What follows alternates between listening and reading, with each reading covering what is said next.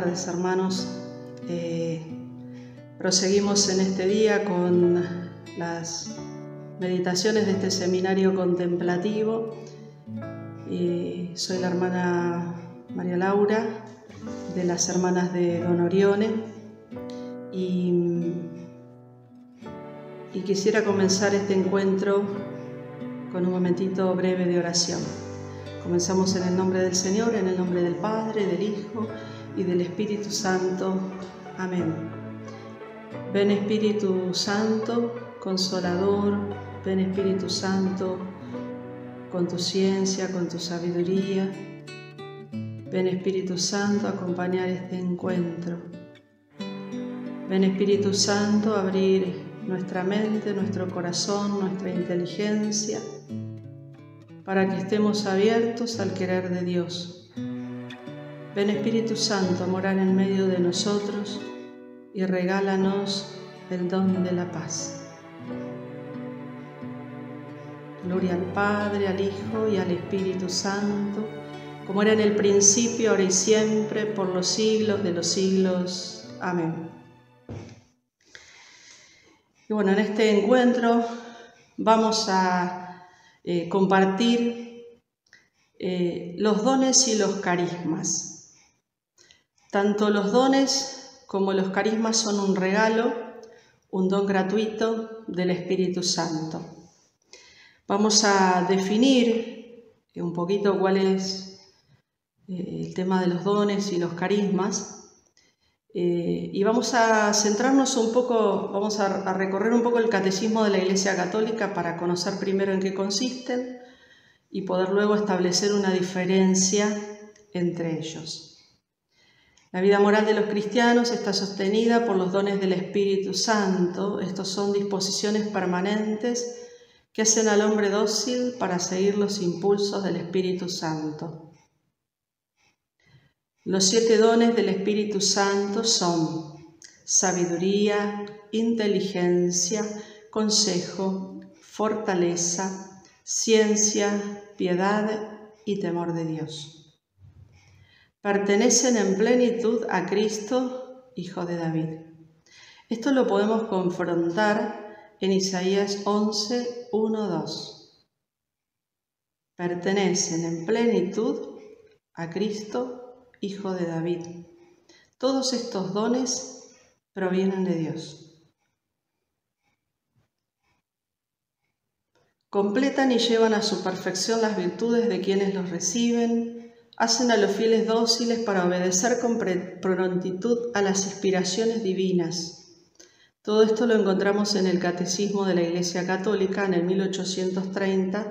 1830-1831. Cuando hablamos de dones nos referimos específicamente a esos siete regalos que recibimos todos en el momento del bautismo y de la confirmación. Los carismas extraordinarios o sencillos y humildes, los carismas son gracias del Espíritu Santo que tienen directa o indirectamente una utilidad eclesial. Los carismas están ordenados a la edificación de la iglesia al bien de los hombres y a las necesidades del mundo. Catecismo de la Iglesia Católica 799. Los carismas son regalos que el Espíritu Santo da a quien quiere en la medida que Él quiere. Todo esto lo podemos confrontar en 1 Corintios 12, 11, que dice,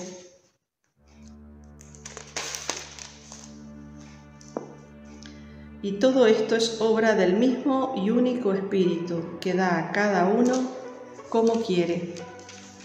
Es Dios, es el Espíritu quien elige, no somos nosotros, ¿no? Como también lo dice la palabra, ¿no? No son ustedes los que me eligieron a mí, sino que soy yo quien los elegí a ustedes. y esto de que tiene una, utilidad eclesial. ¿no? Cuando hablamos de los dones del Espíritu Santo, dones del Espíritu Santo muchas veces los recibo yo y son para mi propio crecimiento. Cuando yo recibo los carismas, los recibo para eh, la edificación y el servicio de los demás y el crecimiento de la Iglesia. El Espíritu Santo actúa por las múltiples gracias especiales, llamadas carismas, mediante las cuales los fieles quedan preparados y dispuestos a asumir diversas tareas o ministerios que contribuyen a renovar y construir más y más la Iglesia. Lo podemos confrontar en el Catecismo de la Iglesia Católica en el número 798. La palabra carisma significa don gratuito. Los carismas son una, riqueza de gracia para la vitalidad apostólica de la Iglesia, siempre que provengan verdaderamente del Espíritu Santo y que se ejerzan de modo plenamente conforme a los impulsos auténticos de este mismo Espíritu.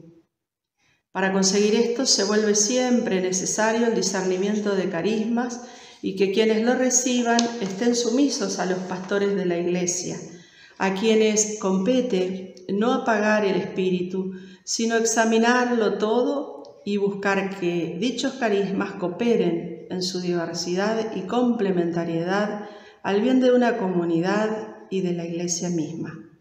Esto también lo encontramos en el Catecismo de la Iglesia Católica en el 801. Y me parece importante aquí pensar un poquito ¿no? la importancia que tiene en nuestra vida en relación a los dones y carismas en todo ¿no? lo que hemos ido eh, meditando y venimos meditando en este seminario, pero particularmente con los dones y los carismas, el discernimiento, que no es en el fondo ni un arte ni una técnica, sino un carisma, un don del espíritu. Al lado de la escucha de la palabra, la práctica más común para ejercitar el discernimiento a nivel personal es el examen de conciencia. Esto no debería limitarse solamente a la preparación para la confesión, sino volverse una capacidad constante de ponerse bajo la luz de Dios y dejarse escrutar en la intimidad por Él. Una vez al día, sea al mediodía o sea al terminar la jornada, ¿no? Poder preguntarme cómo fue mi día, eh, qué cosas fueron acertadas, qué cosas tendría que mejorar. Ese continuo examen de conciencia, ¿no? Que me va a ayudar en ese ejercicio que me hace crecer en lo que estamos llamando ¿no? discernimiento.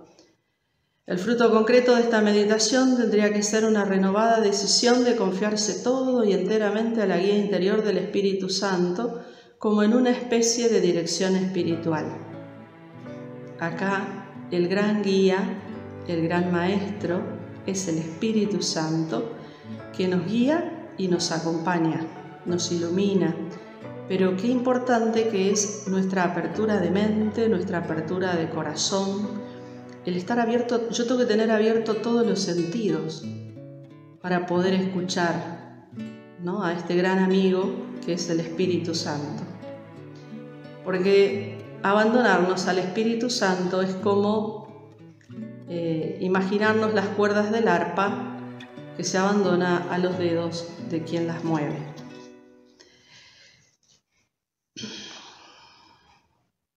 Aunque no hay un número exacto de carismas, San Pablo en Corintios, en Corintios 1, 12, 7, 11, enumera nueve. Yo les, recomiendo leer. Eh, todo, todo eh, 1 Corintios 12, porque ahí tenemos bien todos los dones espirituales y de armonía y también seguidamente los carismas. Palabra de sabiduría, palabra de ciencia, fe, carismas de curaciones, poder de hacer milagros, profecía, discernimiento de espíritus, diversidad de lenguas, interpretación de lenguas. Ahora, ¿cómo diferencio el don y el carisma? Los dones son solo siete, mientras que los carismas pueden ser innumerables San Pablo solo menciona algunos, ¿no? Los siete dones se nos dan a, todos con el sacramento del bautismo. Todos los bautizados tenemos los mismos siete dones, pero no todos los bautizados tenemos los mismos carismas. San Pablo dice en Corintios en 1 Corintios 12:8, porque a uno se le da porque el Espíritu por el Espíritu palabra de sabiduría, a otro palabra de ciencia, según el mismo Espíritu. Y continúa en los siguientes versículos mencionando otros carismas que los reciben unos sí y otros no. El don es una gracia que nos hace ser santos. El carisma es una gracia que nos permite hacer santos a los demás. Imagínense por un momento este hermoso regalo que tenemos. En los dones que hemos recibido trabajarnos y crecer cada día cuando vamos trabajando estos dones que hemos recibido y nos, abrimos a ellos en nuestra vida, a la propia santificación de nuestra vida. Pero cuando nosotros somos dóciles a los carismas que Dios nos quiere regalar, santificamos a los hermanos con los que nos encontramos, pero por sobre todo santificamos a toda la iglesia, a toda, como decía un poquito más, más, más adelante, perdón, hace un ratito, eh, santificamos a toda la iglesia, pero particularmente dice a toda la iglesia apostólica, la misión de la iglesia. Qué importante, ¿no? Sean santos, también dice el Señor en su escritura, como yo soy santo. El don es para provecho personal, mientras que el carisma es para provecho común de la comunidad y de la iglesia. El carisma se recibe no para uso personal, sino para ponerlo al servicio de los demás. Por eso es tan importante el discernimiento, la confrontación con los pastores de la iglesia en estos carismas que podemos ir recibiendo para ponerlos al servicio. Porque si nosotros no los trabajamos, y nosotros no los dejamos crecer, se pueden apagar. Y Dios va a ir y va a decir, bueno, le doy a otro hermano este carisma, ¿no? Entonces yo tengo que alejar de mí el temor, tengo que alejar de mí a veces las tentaciones que puede darme el enemigo a decir, no, vos esto no, esto vos no lo tenés, o esto a vos Dios no te lo dio.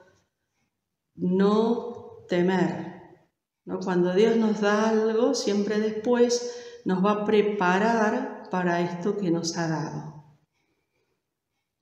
Los, los carismas no se requieren para la salvación personal, los dones sí. No es más santo el que tenga mayores carismas, pero sí es verdad que los santos se caracterizan por el buen uso de los carismas porque los ponen al servicio de la iglesia motivados por el amor. A menudo los carismas espirituales se acoplan a cualidades humanas. Por supuesto, el espíritu nos eleva más alto de lo que habíamos previsto. Pero en la línea de aquello que somos, por ejemplo, San Pablo era un buen orador y se convirtió en el apóstol de Cristo. Ya como apóstol usó bien su carisma de orador para predicar el Evangelio. El secreto para hacer crecer nuestro carisma muchas veces es eso, cuando yo hago el discernimiento, descubro cuáles tengo los dones, si he recibido algún carisma, y trabajarlos, ponerlos al servicio, hacerlos fructificar. Y algo importante acá, ¿no? Hacerlos crecer. En este camino que venimos haciendo de seminario contemplativo, en este camino de oración, de contemplación, estamos llamados a crecer. Estamos llamados a madurar. Estamos llamados a ir a más. No podemos quedarnos en la mezquindad. No podemos quedarnos apocados. No podemos quedarnos en el temor. Sino tenemos que, con la fuerza que nos da el Espíritu Santo y con la gracia que el Señor nos regala con los dones y carismas, tener esa fuerza de que Dios en nosotros todo lo puede el secreto para hacer crecer nuestro carisma. No obstante, los dones y los carismas necesitan crecer en virtudes. La virtud es la orquesta de los dones en los ensayos. Los ensayos son necesarios para el éxito del concierto. Quienes se dedican a la música saben que uno puede a veces improvisar, eh, salvar, digamos, alguna situación, alguna celebración pero cuando uno ensaya, cuando uno afina, templa los instrumentos y luego todos los instrumentos suenan a la vez, el sonido luego es perfecto, es armónico, es equilibrado. Bueno, imaginémonos nosotros en esta orquesta donde Dios es el gran director. Dios es el director por excelencia. El error estaría en correr de carisma en carisma, de hecho, de emoción en emoción, de fe sentida en fe sentida y descuidar las virtudes. Del mismo modo, la oración es una virtud que cultivar cada día. Puede perderse el fuego, pero el fuego no se sostiene con fuego, se sostiene con troncos. Entonces yo tengo que tener diariamente mi tiempo de oración. Lo puedo hacer hasta cuando voy viajando en el ómnibus, cuando estoy cocinando, cuando estoy limpiando, en el lugar donde Dios me pone, poder elevar nuestro pensamiento y nuestra mirada a Dios. El conocimiento de la palabra de Dios. Eh, si yo por ahí digo, bueno, no tengo tiempo eh, todos los días de estar leyendo la Biblia, pero sí puedo acceder muy fácilmente hoy a través de los medios de comunicación al Evangelio diario. Entonces poder leerlo, poder meditar lo que me dice Dios hoy en su palabra, qué pide para mi vida, qué pide en el servicio que yo estoy llevando. Y que esa oración también me va llevando a la contemplación de las cosas, de las personas, de las situaciones. Y entonces todo empieza a cambiar en mí. Yo ya no empiezo a ver todo de la misma manera porque la oración, el que reza, se transforma. Todos los carismas son para ayudarnos. Lo que dice San Pablo del don de lenguas, cuando dice el Espíritu Santo viene en ayuda de nuestra debilidad. Y sí, porque nosotros, ¿qué podemos desde nuestra debilidad? En vez el Señor es nuestra gran fortaleza. Por eso es tan importante continuamente pedir la asistencia del Espíritu Santo. Ahora hay un gran, hay un gran tema que es ¿qué va a decir la gente si yo manifiesto un carisma que Dios me ha regalado? ¿no? ¿Qué va a decir la gente si yo doy una profecía? ¿Qué va a decir la gente si yo canto en lenguas? ¿Qué va a decir si yo impongo las manos a un enfermo? La preocupación del que qué va a decir la gente apaga mucho al espíritu. Es el respeto humano, es la vanidad, no querer ser burlado. Hay que aceptar la crítica de la gente y a veces para entrar en la vida del espíritu, de verdad, hay que decidir que nuestra reputación no tiene importancia. Nuestra imagen, que tanto cuidamos. ¿Qué es lo que importa? Lo que importa es el reino de Dios. Hay que morir a nuestro yo, a nuestra preocupación por nuestra fama. Hay que perderlo para poder ejercitar los carismas. Es lo que llamamos ir logrando poco a poco la libertad interior de los hijos de Dios. Poder actuar y manifestar lo que Dios ha puesto en nosotros con la libertad de los hijos de Dios. Y ahí ya no nos vamos a preocupar si tenemos un buen nombre, una buena fama. No, no tendremos miedo de ejercitar los carismas en público, porque a veces este es el problema de muchos, ¿no? Y que ahí es como que encerramos la acción del Espíritu. Hay que liberar la acción de Dios en nuestra vida y veremos milagros. Lo que importa es no apegar el corazón a estos medios extraordinarios del Señor, sobre todo sabiendo despreciar lo que tienen de consuelos sensibles, ya que esto sería buscarse a uno mismo y olvidar de quién procede todo bien. También es cierto que no debemos resistir si Dios las ofrece, ni impedir que infunda esta gracia en nosotros. Él así lo desea.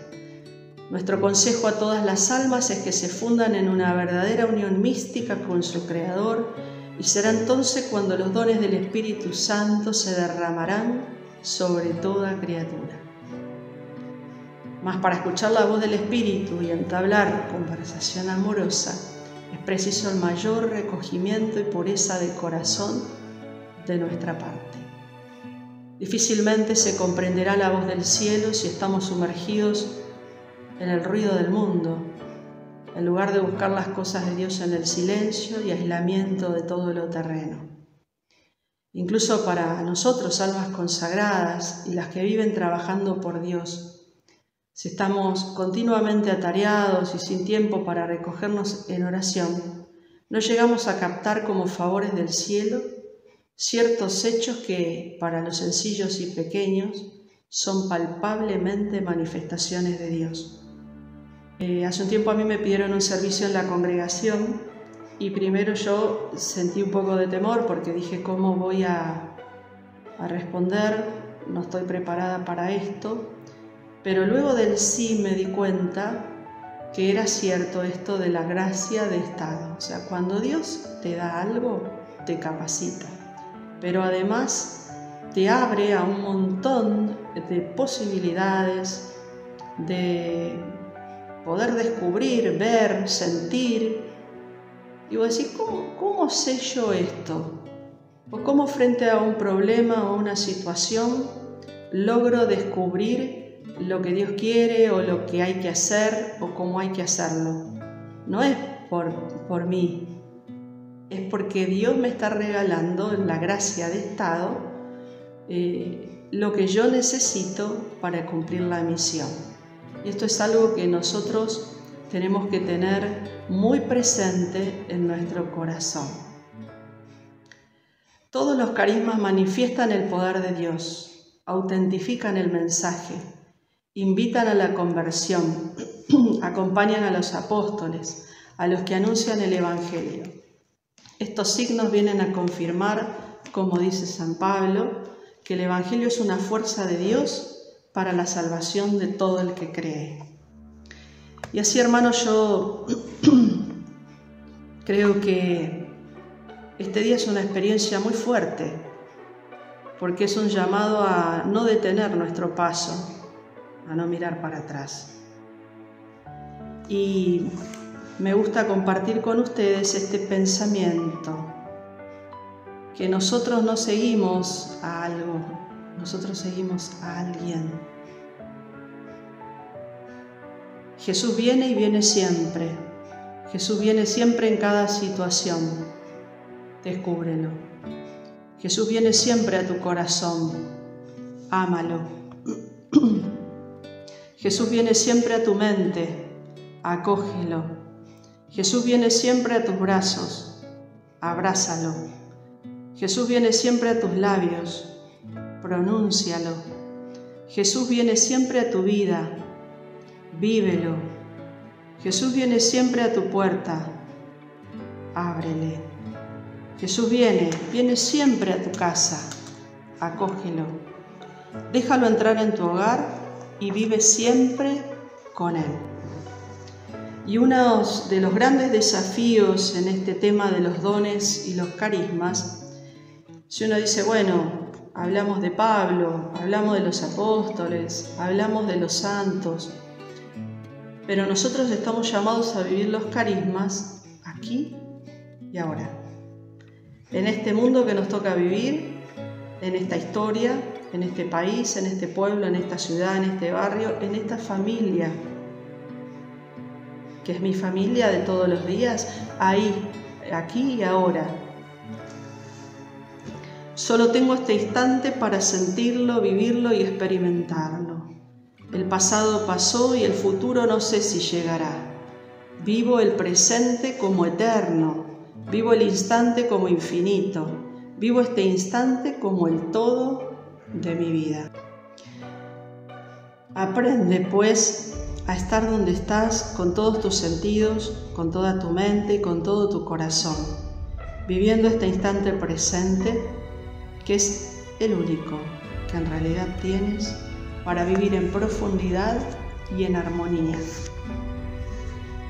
en plenitud y en apertura al otro y a todo lo que te rodea.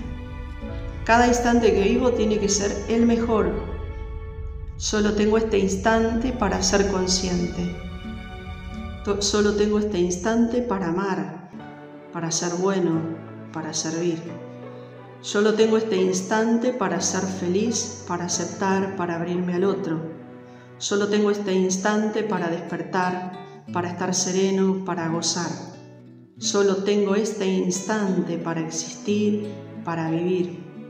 Solo tengo este instante para unirme a Dios. Tengo solo este instante para dejar a Dios ser en mí. Y quería compartirles, vieron que hablamos de confesión, de examen de conciencia, hablamos de discernimiento, hablamos de oración, hablamos de vivir el presente. Y eh, mientras preparaba eh, este encuentro, vino muy, muy fuerte en mi corazón una carta de Don Orione donde él habla sobre la fe. Y creo que en este tiempo que nos toca vivir eh, desde nuestra familia, nuestro país y nuestro mundo, esto de no nos dejemos ganar por el desaliento, decía don Orione. Tengamos fe, más fe. Les aseguro que si tuvieran fe como un grano de mostaza, dijo Jesús, dirían a esta montaña, trasládate de aquí, allá y la montaña se trasladaría y nada sería imposible para ustedes. Fe, hermanos, más fe. ¿Quién de nosotros cree que se puede transportar montañas, sanar pueblos, hacer triunfar la justicia en el mundo, hacer que la verdad brille e ilumine el espíritu humano, unir en la, en la caridad de Cristo a toda la tierra? ¿Dónde están los creyentes? Ciertamente la fe falta en los que hay que salvar, pero a veces lo digo con dolor en el alma, la fe es escasa o languidece también en mí y en otros. En nosotros, que decimos o creemos que queremos iluminar y salvar multitudes. Sigue diciendo Don Orione, seamos sinceros. ¿Por qué no logramos renovar la sociedad? ¿Por qué no tenemos esa fuerza de arrastre? ¿Por qué nos falta fe? Una fe ferviente, una fe ardorosa. Vivimos poco de Dios y mucho del mundo. Vivimos una vida espiritual tuberculosa. Nos falta esa auténtica vida de fe y de Cristo que incluye en sí toda aspiración a la verdad y al progreso social que lo impregna todo. Y esa auténtica vida de fe y de Cristo que incluye en sí toda aspiración a la verdad y al progreso social, que lo impregna todo y a todos hasta los trabajadores más humildes. Nos falta esa fe que transforma la vida en apostolado ferviente en favor de los desdichados y oprimidos, como es toda la vida de Jesús y su Evangelio. Ese es el problema. Si queremos hacer hoy algo útil para que el mundo vuelva a ser luz y a la civilización para renovar la vida pública y privada, hay que hacer que la fe resucite en nosotros y nos despierte de este letargo que no es un sueño, sino muerte. Hay que provocar un gran renacimiento de fe y que del corazón de la iglesia broten los peones de Dios, sembradores de la fe, nuevos y humildes discípulos de Cristo, almas vibrantes de fe. Debe ser una fe encarnada en la vida Necesitamos, necesitamos espíritu de fe, ardor de fe, ímpetu de fe, fe de amor, caridad de fe, sacrificio de fe.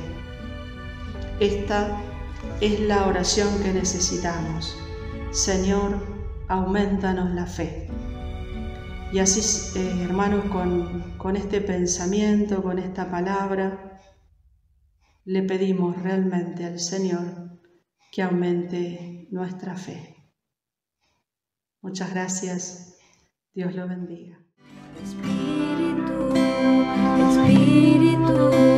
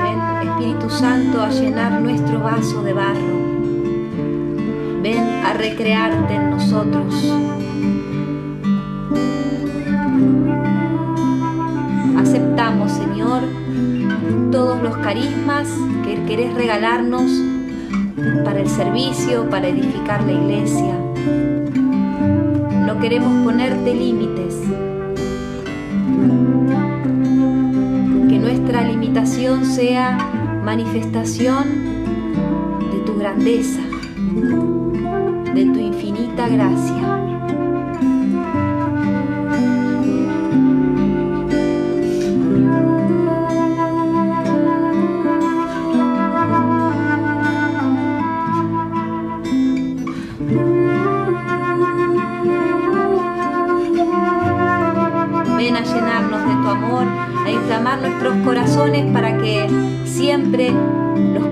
Que ejercitemos estén al servicio del amor.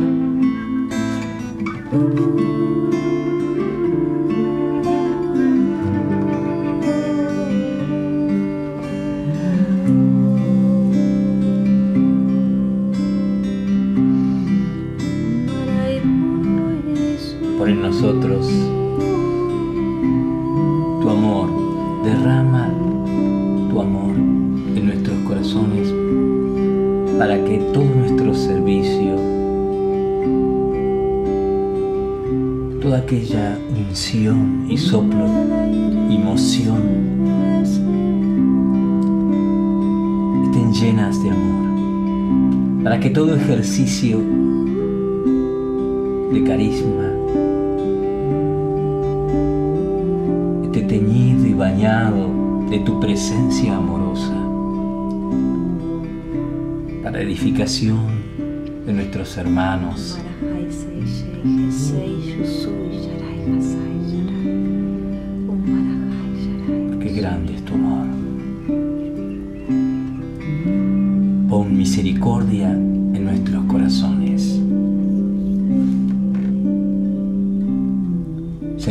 A las necesidades de los demás.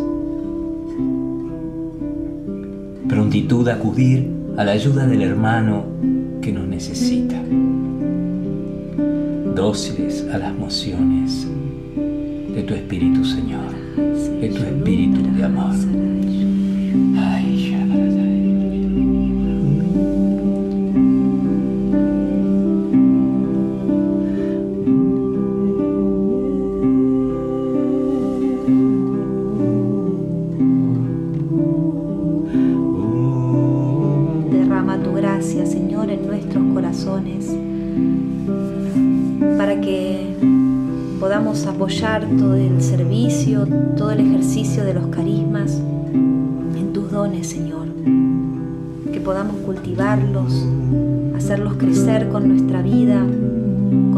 relación con vos.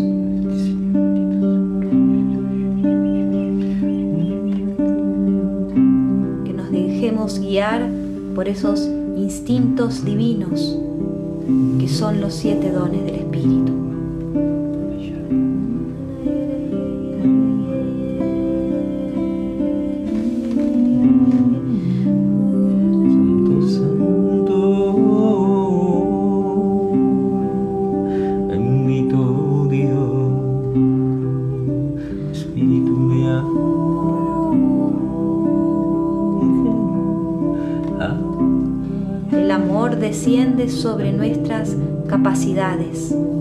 Sobre las capacidades que el Señor nos regala.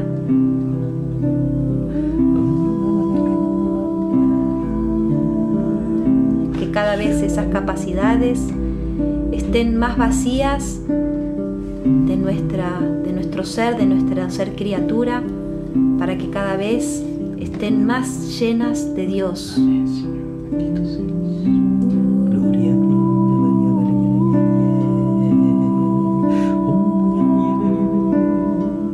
Ven en ayuda de nuestra flaqueza, de nuestra debilidad, para bien de la iglesia y del mundo.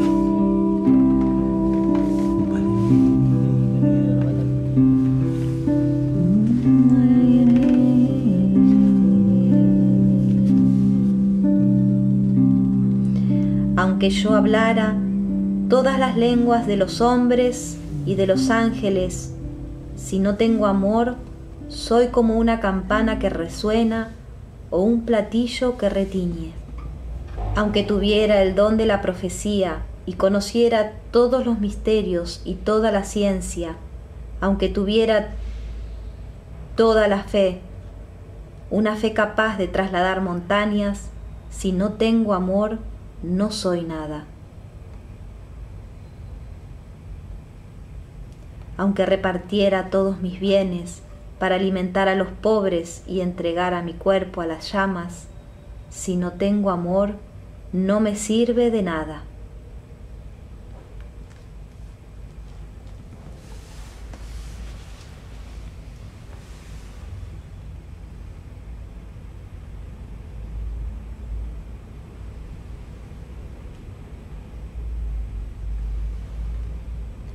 Por eso, Señor, Aquí está nuestros dones, los carismas que pusiste, las capacidades que nos diste.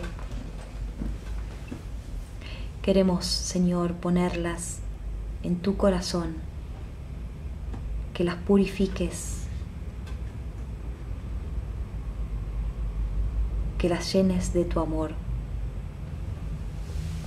que cada vez, Señor, seas más vos y menos nosotros. Todo carisma, toda gracia al servicio de tu amor.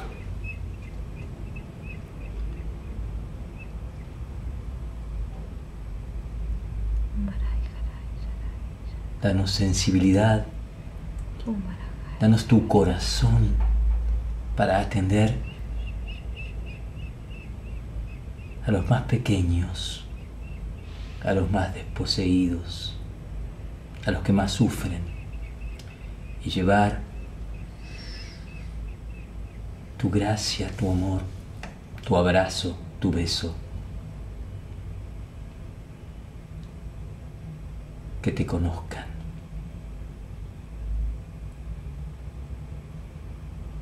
Canales seamos, Señor, instrumentos en tus manos. Afínanos como un instrumento musical. Afinan las cuerdas en el concierto de tu amor, nuestras voces, para que podamos en la armonía de tu espíritu servir. Y que cada vez que pongamos en acción los carismas que nos regalaste sean siempre una invitación a amar.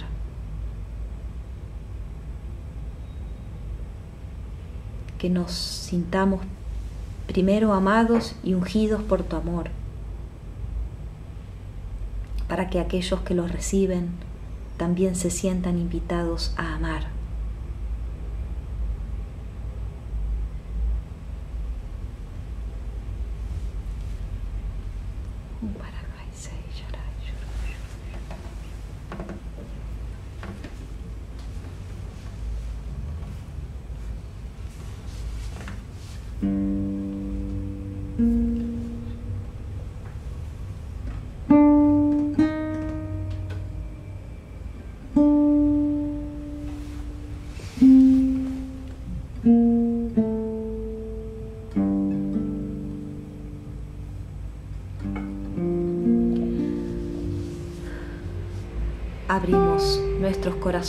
A tu gracia, Señor. Tu gracia nos basta.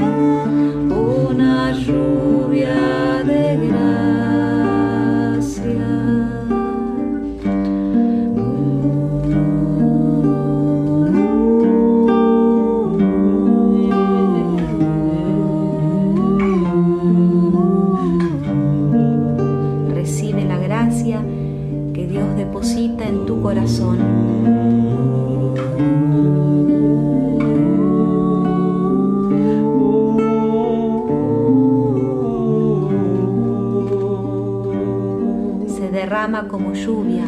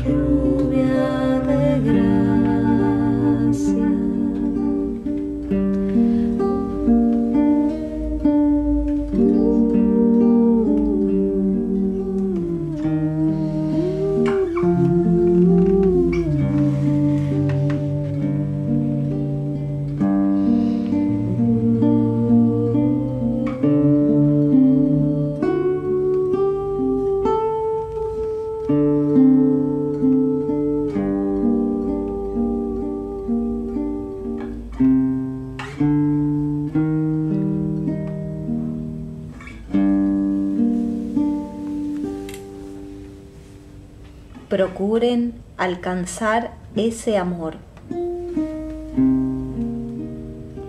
y aspiren también a los dones espirituales.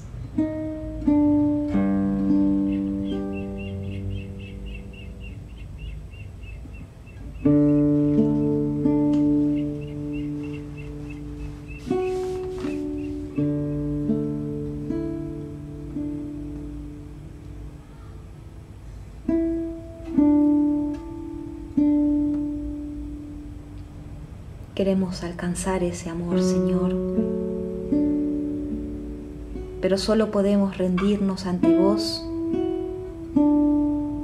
para que vos nos alcances.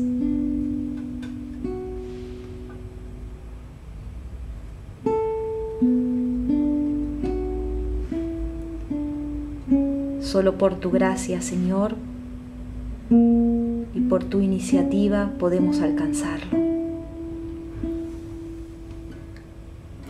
Decimos que sí, Señor, a tu iniciativa. Y Señor, que esa iniciativa busque en lo profundo de nuestros corazones, de nuestra historia, aquellos carismas que hemos guardado, que por miedo, que por heridas no hemos, no hemos desarrollado, no los hemos brindado a los demás. Señor, que tu amor renueve esos carismas que salgan a la luz, porque no se puede encender una lámpara y dejarla debajo de la mesa. Por eso, Señor, hoy ponemos todas estas capacidades que vos un día pusiste en nuestros corazones, aquellas que no ejercitamos y aquellas que Quizás las ejercitamos de una manera imperfecta. Las queremos poner, Señor, en tu corazón. Arroja tu luz, Señor. Dales nuevo brillo para que podamos felizmente y alegremente servirte y servir a las almas.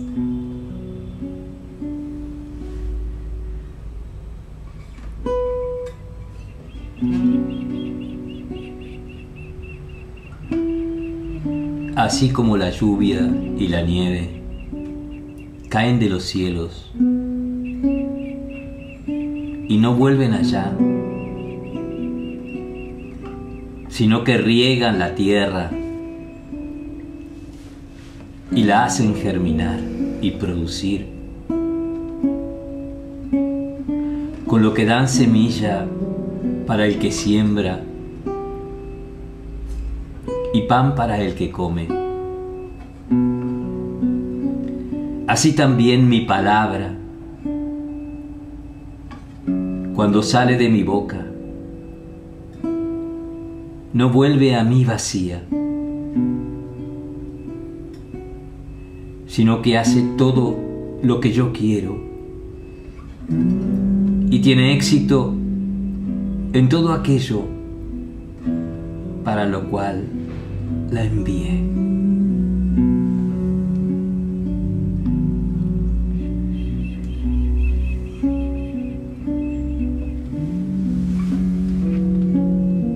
Que se haga en mí según tu palabra.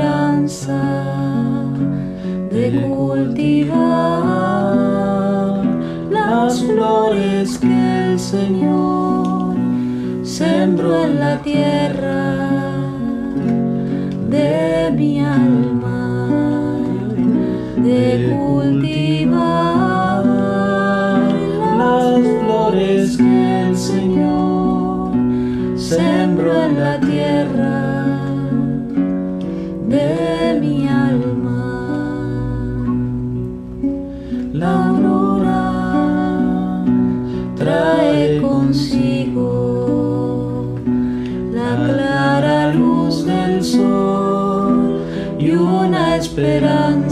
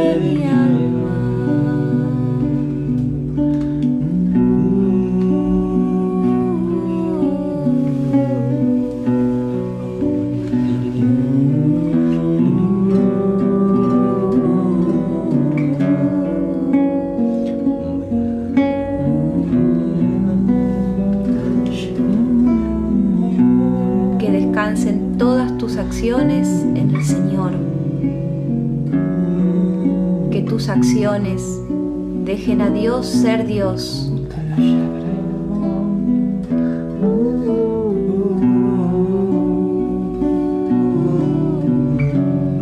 Que florezca nuevamente la vida divina, la vida de la gracia, las acciones del Espíritu en toda tu vida.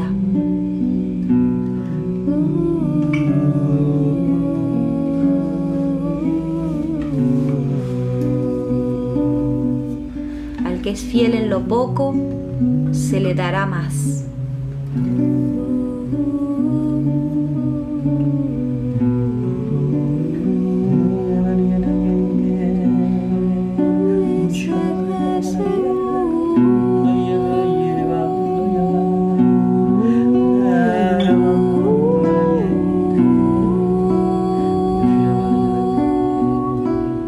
Si pones tu corazón y tus capacidades manos del Señor, verás cómo florecerán.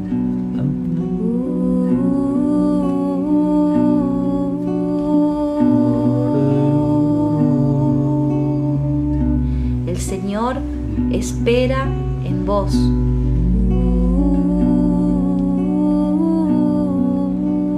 Cuenta contigo.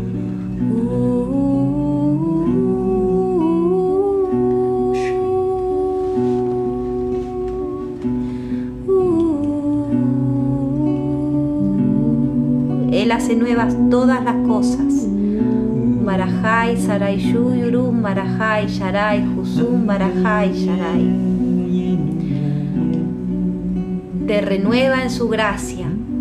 Baralai, Harai, Sei, Sharai, Husum, Bararai, Sharai, Husui, Shurun, Dararai, Sharai. Hum, Barajai, Sarai, Shurun, Dararai, Sharai, Husui, Shurui.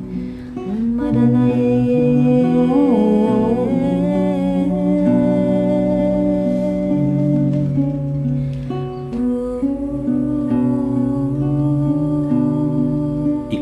el desierto de tu vida en un vergel.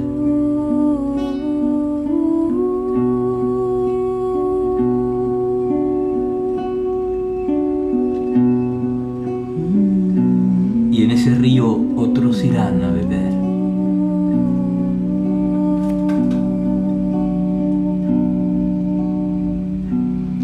Jesús necesita de sus almas pequeñas traslucen su gracia, su riqueza, sus tesoros, su grandeza.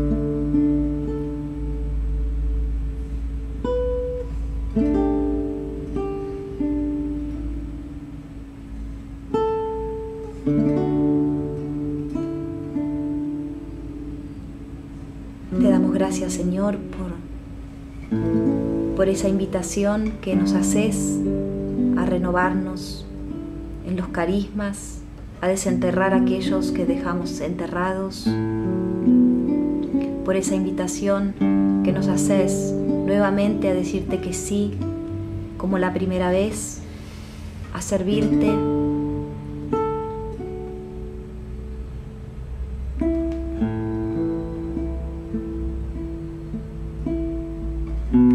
Hacer todo lo que vos nos digas, Señor. Sí, Señor. Gracias por bendecirnos.